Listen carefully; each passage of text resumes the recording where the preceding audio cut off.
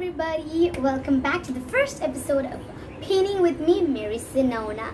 So today I'm gonna try one of TikTok's viral trend. This is actually like a normal painting. You paint it on black canvas, but it with normal paint only, it'll look like 3D effect and it's like neon color. I love this painting so much. One time I watched watched it, I was in shock that I cannot, I like, I did not know you can do neon paintings like this. So I thought I'm gonna try it out. So this morning I tried out one thing just for trial. So this, as some of you guys may see this, it is a character from Among Us. Um, I tried my best to do this and I'm really impressed. It's so cool. I had like a black canvas and I drew everything and then I colored it and I was like really excited to show this to my family family members and they were also me really cool. So I thought I'm going to continue this while recording. So let's get started. So the first thing you will want to do is take a black canvas since I did not have a black canvas, I took a white one because I had a lot of them and painted the background full black picture.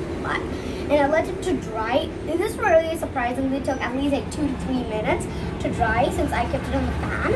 And then I sketched out uh, my design with a pencil, really important. And then I took a two inch brush, dipped it in white and started like uh, like going on the pencil.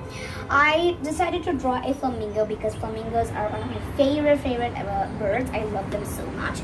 So uh, let's get started. So after you have this part done, now we're gonna take your brush again. And since flamingos are pink, I'm gonna go with delicate pink and the colors I used for this and I'm to use is Camel Student Poster Colors Rich and Deep Colors 20 Shades. I absolutely love Camel's uh, colors because it's amazing. They're amazing. So here I already had my color mixed up.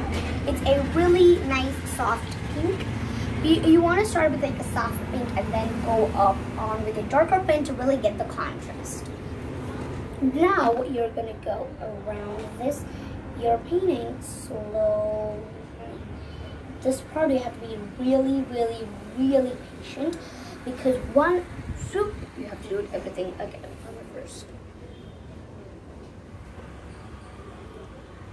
Slowly and also start off with a really soft pink. For this pink, I did not actually have the shade. I actually uh, mixed two colors, which were the red and the, um, the white.